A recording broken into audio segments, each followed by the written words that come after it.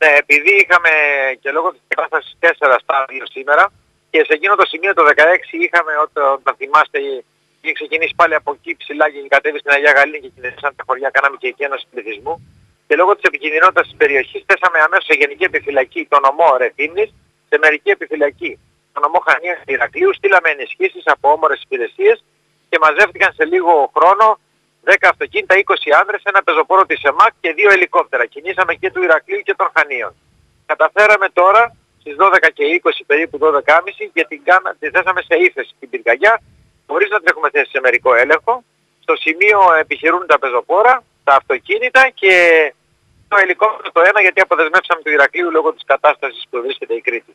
Επειδή οι καιρικές συνθήκες θέλουν τη συγκεκριμένη περιοχή να βρίσκεται στο κόκκινο όσον αφορά τους θυελώδεις ανέμους, τι κίνδυνοι ελοχεύουν από εδώ και πέρα; Ε, υπάρχουν κίνδυνοι. Όσο έχουμε τέσσερα και όσο έχουμε νότιους, στο νότιο έχουμε ανέμους ε, και βόρειους βορειοδυτικούς οι οποίοι εναλλάσσονται λόγω της ε, κατάστασης των βουνών και της, ε, του ανάγλυφου της περιοχής ε, δίνουμε μεγάλη σημασία και εστιάζουμε το ενδιαφέρον μας εκεί πέρα περισσότερο μήπως μας τύχει κάτι. Ό,τι μπορούμε θα κάνουμε πάντως, να ξέρετε. Ε, αυτή τη στιγμή οι καιρικές συνθήκες με βάση τη δική σας πρόγνωση, τι, τι προβλέπουν στην περιοχή; Οι καιρικές συνθήκες θα είναι έτσι αυξημένες μέχρι το αργά το βράδυ και νο, από ό,τι γνωρίζουμε πέφτουν οι ανέμοι αύριο.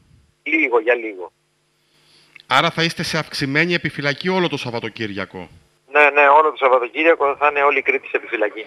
Ποιες κατοικημένες περιοχές είναι αυτές που θέλετε να προστατεύσετε αυτή τη στιγμή που Κοιτάξτε, δίνετε τη μάχη με τις Στην ίδια πυρκαγιά, σε εκείνο το σημείο, απειλήθηκαν το 16 ο Άγιος Παύλος, ο Άγιος Γεώργιος και η Αγία Γαλήνη. Οι Μέλαντες βέβαια, που βρίσκονται κοντά. Ε, η φωτιά βέβαια η σημερινή ήταν στην κορφή, ήταν στην κορφή του βουνού. Είχε πάει, είχε φτάσει, στροβίλιζε, αλλά την καταφέραμε και την ελέγξαμε. Ποια είναι η συμβουλή που δίνετε στους πολίτες; Προσοχή, απαγορεύεται το άναμα, οτιδήποτε, η γάρα ηλεκτροσυγκολής, οτιδήποτε στην Ήπεθρο αυτό το διάστημα απαγορεύεται εξ ολοκλήρου.